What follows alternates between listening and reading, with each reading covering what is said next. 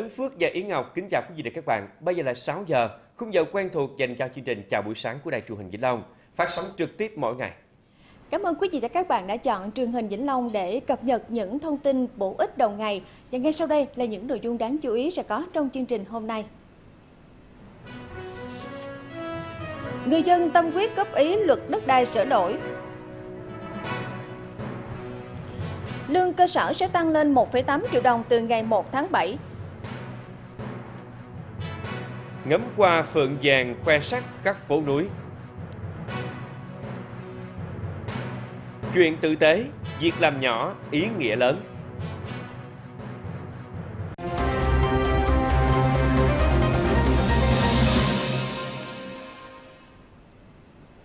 Chiều qua tại Hà Nội, Thường trực Ủy ban Văn hóa Giáo dục của Quốc hội tổ chức tọa đàm tham vấn chuyên gia về các nội dung dự thảo luật đất đai sửa đổi liên quan đến đất văn hóa, giáo dục, thể thao, du lịch. Tại tọa đàm, các đại biểu đề nghị xem xét bổ sung các dự án xây dựng công trình giáo dục đào tạo và quy định về các trường hợp nhà nước thu hồi đất để thực hiện các dự án phát triển kinh tế xã hội vì lợi ích quốc gia công cộng. Quy định nhà nước giao đất không thu tiền sử dụng đất cho các tổ chức sự nghiệp công lập chưa tự bảo đảm chi thường xuyên và chi đầu tư khi xây dựng công trình sự nghiệp hoặc miễn tiền thuê đất cho các tổ chức sự nghiệp công lập tự chủ tài chính thực hiện sự nghiệp giáo dục đào tạo. Hiện cả nước đang tổ chức đợt lấy ý kiến toàn dân về dự thảo luật đất đai sửa đổi. Người dân đang rất hào hứng tâm quyết đóng góp ý kiến để hoàn thiện luật đất đai, tháo gỡ những điểm nghẽn, giảm tình trạng khiếu kiện phức tạp, ờ, khơi thông nguồn lực đất đai. Nhiều ý kiến đóng góp tập trung chủ yếu về giá đất, thu hồi đất, bồi thường giải phóng mặt bằng, cải cách thủ tục hành chính, lĩnh vực đất đai. Các ý kiến nêu ra giải pháp thể hiện tâm quyết trách nhiệm của mỗi người dân. Khi người dân tích cực góp ý, cơ quan soạn thảo tiếp thu đầy đủ và thể chế hóa, thì luật sẽ được thông qua, nhận được sự đồng thuận lớn, sớm đi vào cuộc sống. Từ nay đến ngày 15 tháng 3, những hội nghị lắng nghe ý kiến nhân dân sẽ tiếp tục được tổ chức những đối tượng bị ảnh hưởng bởi dịch Covid-19 sẽ được thành phố Hồ Chí Minh giảm 30% tiền thuê đất, thuê mặt nước của năm 2022. Theo đó, các tổ chức, đơn vị, doanh nghiệp, hộ gia đình, cá nhân trên địa bàn thành phố Hồ Chí Minh đang được nhà nước cho thuê đất, thuê mặt nước hàng năm sẽ được giảm 30% tiền thuê của năm 2022. Riêng số tiền thuê còn nợ của các năm trước năm 2022 sẽ không được giảm người thuê đất thuê mặt nước cần nộp hồ sơ đề nghị giảm tiền thuê đất thuê mặt nước gửi trực tiếp hoặc điện tử đến Cục Thuế nơi có đất hoặc Ban Quản lý Khu Kinh tế, Khu Công nghệ cao. Thời gian nộp hồ sơ đến hết ngày 31 tháng 3 năm 2023.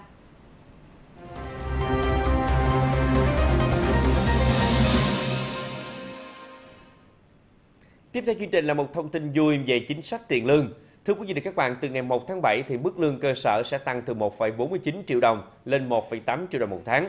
Nếu người mới tốt nghiệp đại học làm việc trong khu vực hưởng lương ngân sách nhà nước có hệ số lương 2,34 thì mức lương sau điều chỉnh sẽ tăng 726.000 đồng so với hiện nay. Theo Bộ Nội vụ, nếu so với lương tối thiểu dùng của lao động làm việc trong doanh nghiệp thì mức 1,49 triệu đồng một tháng mới đạt 37,89%, lương tối thiểu dùng bình quân năm 2022 là hơn 3,9 triệu đồng một tháng.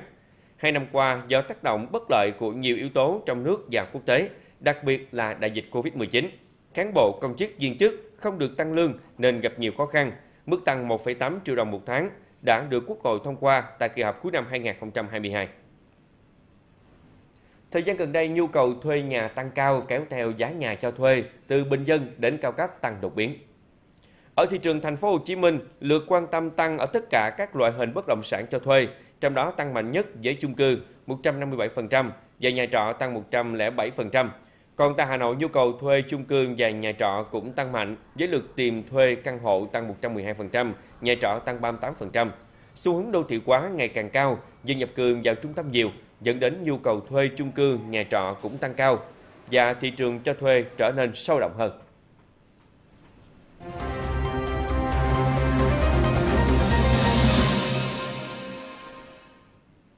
Thưa quý vị và các bạn, đường ven biển miền Tây đoạn qua Bến Tre dài 53 km dự kiến thực hiện trong giai đoạn 2023-2025.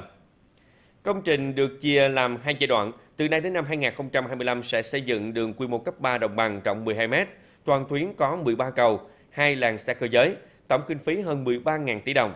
Sau năm 2025, dự án sẽ được nâng cấp mở rộng mặt đường trong đô thị rộng 100m, ngoài đô thị 46m, tổng vốn gần 15.500 tỷ đồng.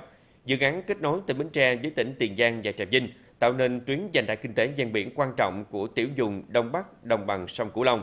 Khi hoàn thành sẽ rút ngắn khoảng cách hàng chục km đi từ Sóc Trăng, Trà Vinh qua Bến Tre, Tiền Giang, Long An đến thành phố Hồ Chí Minh. Dự án tổng kho xăng dầu Phú Xuân Nhà Bè ở huyện Nhà Bè, thành phố Hồ Chí Minh là công trình trọng điểm có quy mô dự trữ lớn nhất khu vực phía Nam nhằm góp phần đảm bảo an ninh năng lượng quốc gia cũng như dự trữ thương mại. À, thế nhưng hơn một năm qua, công trình này trong tình trạng dở dang, không thể tiếp tục thi công do gặp nhiều vướng mắc chưa thể tháo gỡ. Dự án có tổng mức đầu tư dự toán hơn 12.000 tỷ đồng do Tổng Công ty Kho cảng Xăng dầu Hàng không Việt Nam làm chủ đầu tư, lẽ ra đang trong giai đoạn nước rút để hoàn thành giai đoạn 1 như kế hoạch trong năm 2023. Thế nhưng từ hơn một năm nay, dự án đã ngừng thi công, nhiều hạng mục quan trọng cốt lõi của dự án cơ bản hoàn thành, đang nằm đắp chiếu. Theo chủ đầu tư, công trình khởi công năm 2016, dịch Covid-19 đã làm tiến độ thi công bị đình trệ, mặt khác do thiếu hụt nguồn vốn vay từ ngân hàng, từ chủ quan đến khách quan, doanh nghiệp không tiếp tục được giải ngân khoản vay, khiến dự án đi vào ngõ cụt. Hôm qua, cửa khẩu quốc tế Ma Lù Thàng chính thức mở cửa phục vụ các hoạt động xuất nhập cảnh và thông quan hàng hóa sang huyện Kim Bình, Kim Bình, tỉnh Dân Nam Trung Quốc và ngược lại. Cửa khẩu quốc tế Ma Lù Thàng nằm ở xã Ma Li Pho, huyện Phong Thổ, tỉnh Lai Châu. Sau hơn 3 năm bị ảnh hưởng bởi dịch Covid-19, việc cửa khẩu khôi phục toàn diện hoạt động xuất nhập cảnh và thông qua hàng hóa giúp người dân hai nước thăm thân, trao đổi buôn bán hàng hóa, thúc đẩy phát triển kinh tế. Tại hội thảo kinh nghiệm quốc tế về chuyển đổi số và công nghiệp 4.0 cho doanh nghiệp nhỏ và vừa vừa được tổ chức tại Hà Nội, Tổ chức Hợp tác Phát triển Đức GIS đã khẳng định chính phủ Đức đã và đang rất tích cực hỗ trợ các doanh nghiệp nhỏ và vừa Việt Nam giải quyết các thách thức đặt ra để bắt kịp với xu thế thời đại. Trong khuôn khổ dự án Trung tâm chuyển đổi số do Chính phủ Đức hỗ trợ Việt Nam có hợp phần công nghiệp 4.0 nhằm thúc đẩy và hỗ trợ quá trình chuyển đổi kép của doanh nghiệp. Đó là sự chuyển đổi song song với phát triển bền vững dựa vào ba trụ cột, tăng cường nhận thức, tăng cường năng lực và nâng cao năng lực hệ sinh thái. Theo các chuyên gia, tình hình chuyển đổi số tại một số nước trên thế giới thành công có thể áp dụng chọn lọc cho các doanh nghiệp nhỏ và vừa tại Việt Nam – để trở thành doanh nghiệp số, các doanh nghiệp phải không ngừng đổi mới sáng tạo, sẵn sàng tâm thế hành động, chủ động xây dựng chiến lược để bứt phá.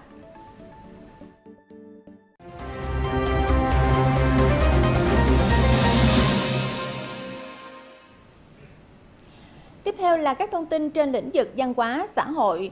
Thưa quý vị, theo Cục An toàn Thực phẩm Bộ Y tế, thì trong thời gian qua, các cơ quan chức năng trung ương và địa phương đã tích cực triển khai các biện pháp kiểm soát an toàn thực phẩm, thanh tra, kiểm tra, xử lý nhiều vụ việc vi phạm của các cơ sở cung cấp suất ăn sẵn, bếp ăn tập thể.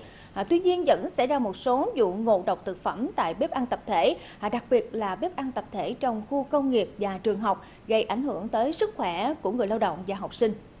Và để chủ động phòng chống ngộ độc thực phẩm tại bếp ăn tập thể, bếp ăn trường học, thì Bộ Y tế đề nghị các đơn vị tăng cường trách nhiệm quản lý nhà nước về an toàn thực phẩm trong tình hình mới. Trong đó thì nhấn mạnh việc người đứng đầu cơ sở, đơn vị tổ chức bếp ăn tập thể phải chịu trách nhiệm về an toàn thực phẩm theo đúng quy định. Triển lãm nghệ thuật quốc tế nữ 2023 Journey of Friendships do Hiệp hội Họa sĩ nữ quốc tế tổ chức à, diễn ra từ ngày 20 đến ngày 23 tháng 2 tại Sun Green Art Space Gallery thuộc thành phố Yogyakarta, Indonesia. 10 nữ họa sĩ Việt Nam được mời tham dự triển lãm và trưng bày tác phẩm. Triển lãm nghệ thuật quốc tế nữ 2023 Journey of Friendship trưng bày hơn 65 tác phẩm nghệ thuật với sự tham gia của gần 70 họa sĩ đến từ các nước như Việt Nam, Australia, Nhật Bản, Malaysia, Myanmar, Singapore, Thái Lan. Đây là cơ hội để các nữ họa sĩ Việt Nam giao lưu, học hỏi, chia sẻ nghệ thuật nước nhà với họa sĩ nữ các nước trên thế giới. Thưa quý vị và các bạn, không chỉ nổi tiếng với những đồi chè ngút ngàn, đến với thành phố Bảo Lộc của tỉnh Lâm Đồng những ngày đầu năm, thì du khách sẽ được chiêm ngưỡng qua phượng vàng đang khoe sắc rực rỡ. Đi dọc tuyến quốc lộ 20 từ thành phố Bảo Lộc lên huyện Di Linh của tỉnh Lâm Đồng, du khách dễ dàng bắt gặp những cây phượng vàng bung nở. Theo người dân địa phương, hoa phượng vàng du nhập vào vùng đất Bảo Lộc từ rất lâu, nhưng gần đây mới được trồng rộng rãi.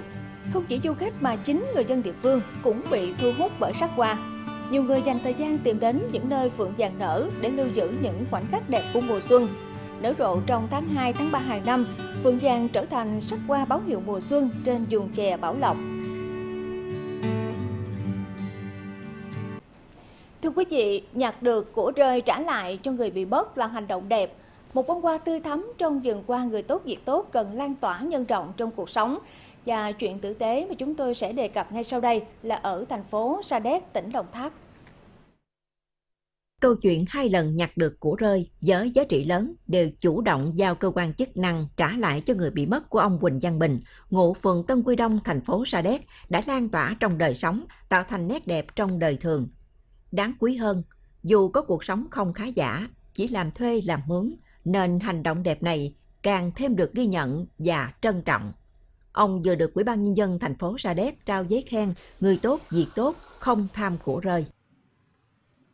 Tôi à, nhận được à, một chiếc nhẫn của khách đánh rơi là đó là cái tài sản lớn nhất đối với tôi muốn tạo hình ảnh tốt đối với khu uh, du lịch nên tôi trả lại cho quý khách uh, để cho uh, cánh đồng hoa hồng của tôi được cái danh dự tốt hơn.